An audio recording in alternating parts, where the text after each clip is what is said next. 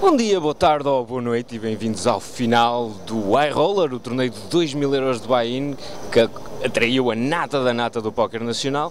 Terminou e a maior fatia dos 93 mil e qualquer coisa do price pool ficou aqui para o rapaz ao meu lado. Muito boa noite, Pedro Zagal. Não, isso é mentira, não ficou. Ficou. Também já ouvi dizer que houve acordo, mas ainda não Sim, sei fiz bem. Um, fiz um acordo com o Papi quando ficámos heads up e ele tinha mais fichas, depois pronto.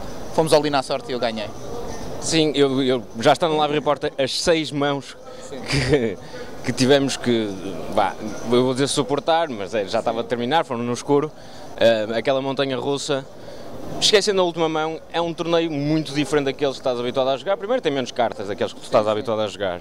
Qual é a grande diferença para ti entre o Oldham e o Omaha? A grande diferença é que eu jogo isto muito de vez em quando, jogo uma vez por ano.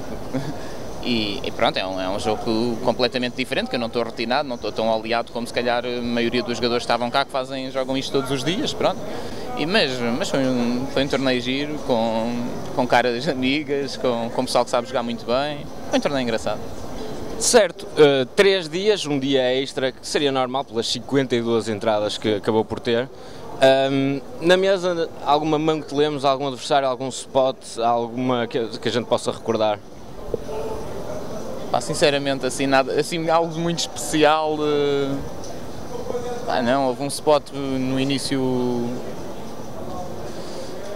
Acho que foi no final do dia 2 ou lá para meio, o que é que foi, que eu, pronto, blafei-me blafei se calhar demais e, e, correu bem, senão não estava aqui e, e se calhar essa mão.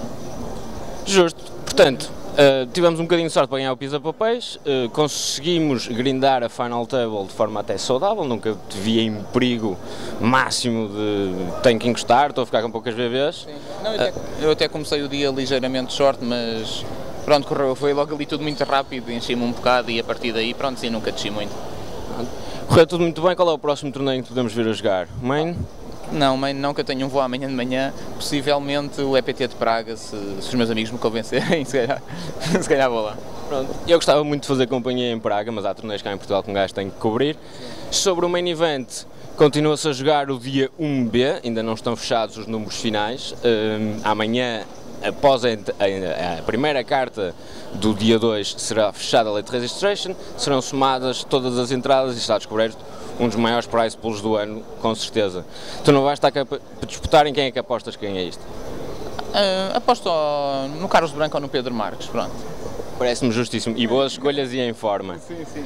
Olha, queres deixar um abraço lá para o mal? deixar um abraço ao pessoal, ao, ao pessoal meu amigo que me acompanha já há muitos anos nisto. Pronto, já, acho que é isso. Pronto, queria mandar um abraço ao Beja, que ele pediu-me para mandar-lhe um especial. Pronto, está entregue. Está entregue, obrigadíssimo. Boa sorte para o resto, para Praga se lá fores. Se não, vemo-nos no final deste dia com os chip das prémios do dia 1B do Main Event. Já sabem que as principais incidências deste torneio e do Main Event estão no live report do PokerBT.com.